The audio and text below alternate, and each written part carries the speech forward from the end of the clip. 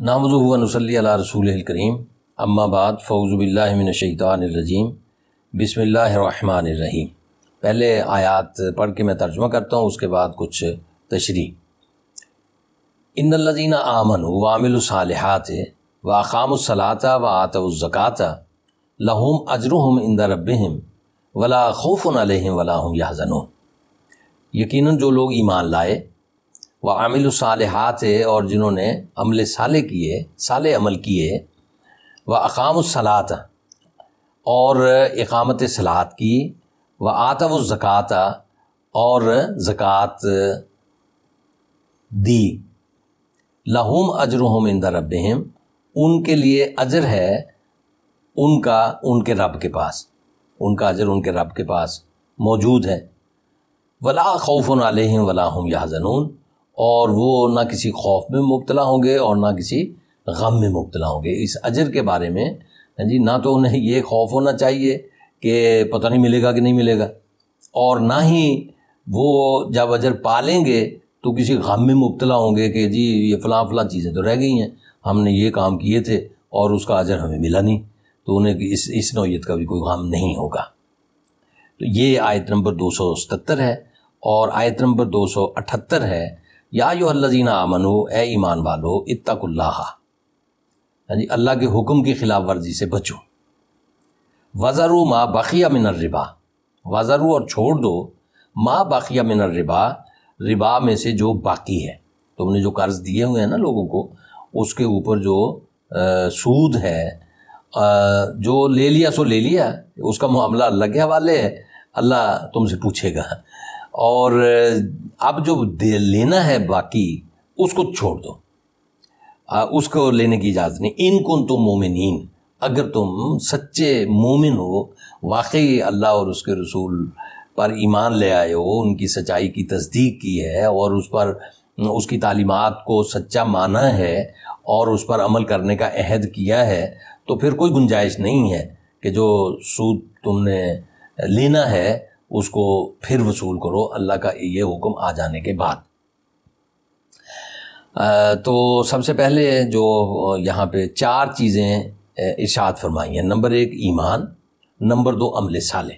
बुनियादी तौर पर तो यही दो चीज़ें हैं जो मोमिन की निजात का बायस है और कामयाबी की ज़मानत है और जिनको करने के लिए इंसान को फ़र्द को, यानी सारी ज़िंदगी लगा देनी चाहिए। और फ़र्द और इज्तमाहीत ये दोनों चीज़ों को मैं अलग अलग करके रखता हूँ, यानी कुरान मजीद की तशरी के ज़िमन में एक फ़र्द है और दूसरा इज्तमाहीत है। तो फ़र्द के करने के काम भी हैं और इज्तमाहीत के करने के काम हैं। अब हमारी जो तशरी है, ये सारे का सारा काम जो है ना, ज़िम्मेदारी वो फ़र्द पे डाल देती है। हालाँकि फ़र्द अकेला जो है ना, वो इतना बोझ नहीं उठा सकता। कि वो अपनी ज़ाती ज़िंदगी की सिफात को भी अपने अंदर पैदा करे और पूरा करे और अपने ज़िमिया काम है जी उनको करे। और जो निज़ाम के ज़िम्मे काम हैं, इज्तमाही तौर पर होने हैं, वो भी अगर हम फ़र्द ही पर डाल देंगे, फ़र्द उनके नीचे दब जाएगा। यही वजह है कि हम जब ये तशरी इस अंदाज की करते हैं कि जो इज्तमाहीत के ज़िम्मे काम है, समाज के ज़िम्मे काम है, निज़ाम के ज़िम्मे काम है, वो भी हम फ़र्द के ज़िम्मे लगा देते हैं तो वो बेचारा सारी ज़िंदगी, यानी उनके नीचे दबा हुआ, कराहता रहता है और परेशान रहता है। ला खौफन अलहम वला हम याजनून की जो मुसरत अंगेज़ लम्हात और घड़ियाँ हैं, वो उसकी ज़िंदगी में नहीं आ पाती। मरते हुए भी वो परेशान ही जाता है कि पता नहीं मेरे साथ क्या होगा। जी, मैंने, मैं वो नहीं कर सका कि जो करना चाहिए था। वो तो दुरुस्त है कि हक तो ये है कि हक अदा ना हुआ। इस पर अगर आप पशेमान हैं तो ज़रूर हों। लेकिन इसमें पशेमान ना हो कि बुनियादी तकाजे भी पूरे नहीं हुए। सारी ज़िंदगी आपने अल्लाह और उसके रसूल की इतात में गुजारने की जिदोजहद की। हाँ और उससे बढ़कर एक बड़ा नस्बुलैन अपने सामने रखा और उसके लिए तगोदौ करते हुए गुजारी। हाँ जी, फिर भी आप कहें कि पता नहीं मेरे साथ क्या सलूक होगा, पता नहीं मैंने ज़िंदगी कैसे गुजारी, पता नहीं इस पर कोई अजर मिलता है या नहीं मिलता तो इससे बड़ी लाइलमी कोई नहीं हो सकती। और जो ये तशरी है तो इससे अब मैं क्या लफ्ज़ इस्तेमाल करूँ? आप खुद इसके लिए कोई लफ्ज़ खुद बना लें। हैं जी? तो मैं कहूँगा कि इससे बड़ी नाकामी कोई नहीं हो सकती। कि जब आप करने के बावजूद, है जी, उस पर एतमाद ना करें, अल्लाह के वादों पर यकीन न रखें, रसूलुल्लाह सल्लल्लाहु अलैहि वसल्लम की लाई हुई तालीमात के मुताबिक ज़िंदगी गुजारने के बाद उसके जो अंजाम बताया है, उस अंजाम पर आप यकीन न रखें तो फिर इससे बड़ी नाकामी क्या होगी? है ना? ये बहुत बड़ी नाकामी है। तो यानी यकीन पैदा करना ये आज की बहुत बड़ी ज़रूरत है। तो जो लोग ईमान लाए और जिन्होंने अमले साले किया अच्छा अमले साले की ज़रा यहाँ तशरी कर दूँ, पहले भी की हुई है, लेकिन जहाँ पे लफ्ज़ आता है, फिर इतना मुख्त से तौर पे बता देता हूँ कि अमले साले हमारे यहाँ तो सिर्फ़ इबादात की नौीयत के अमाल तक ये लफ्ज़ महदूद है। आम जो हमारा समाज का तस्वुर है ना, इस्लाम का, या तशरी है, या हमारा आम मजहबी रहनुमा जो तशरी करता है, वो इबादत की नौीयत तक इसको महदूद रखता है। हालाँकि ये इबादत की नौीयत तक महदूद नहीं है, ये सारी इंसानियत की भलाई के हर काम तक वसी है। जो ईमान लाए, और अहले ईमान क्या है?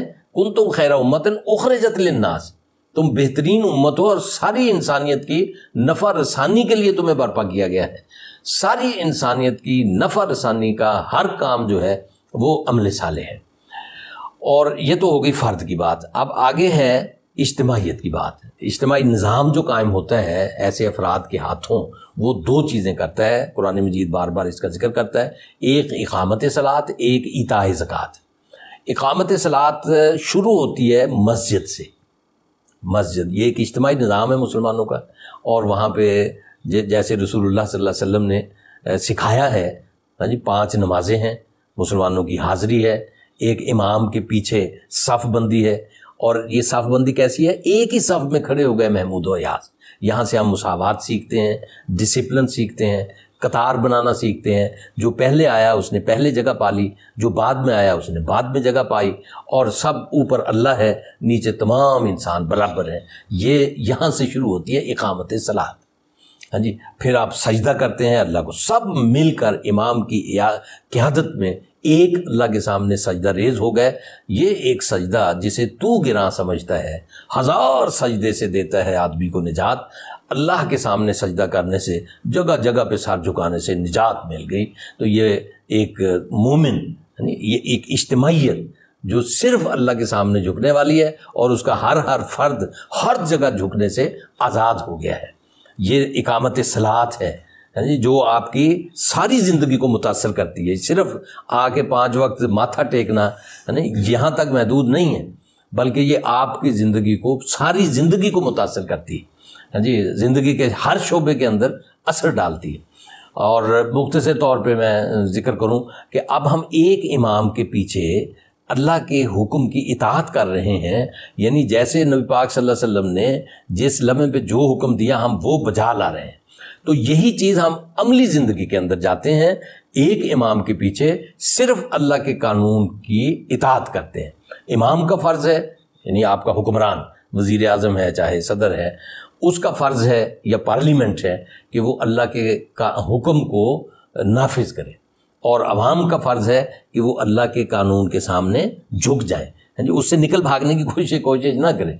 तो ये एक पूरे का पूरा सिस्टम वजूद में आता है, जो सलाद से शुरू होता है नमाज़, पाँच वक्त की नमाज़ मस्जिद से शुरू होता है और पूरी ज़िंदगी पर फैल जाता है, उसका अहाता करता है।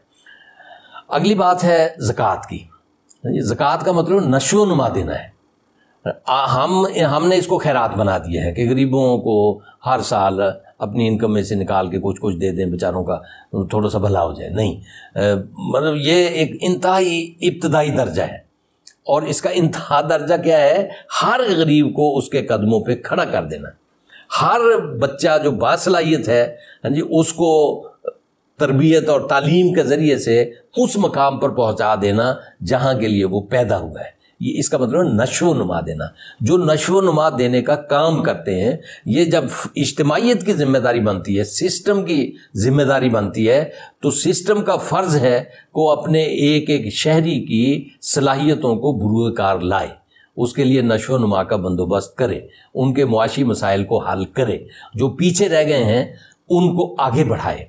और जो बिल्कुल ही मोहताज हैं, उनकी ज़रूरियात पूरी करने के लिए कफालत का इंतज़ाम करें। ये इकामत सलात है। तो जिन्होंने ये कर लिया, उनके लिए ना कोई खौफ है, ना कोई गम है। और अगली बात ये फरमाई है कि जनाब, ये जो जो ये सूद, वसूल कर रहे हैं ना, ये तर्क कर दें। और अब कोई गुंजाइश नहीं है। तो अल्लाह और उसके रसूल के हुक्म आ जाने के बाद वो इस सूद को तर्क कर दें। और आगे फिर इसकी मज़ीद तफसील है। अगली बात में कल के दर्स में होगी इन शाला वाखिर दावाना अलहमदिल्ला रबालम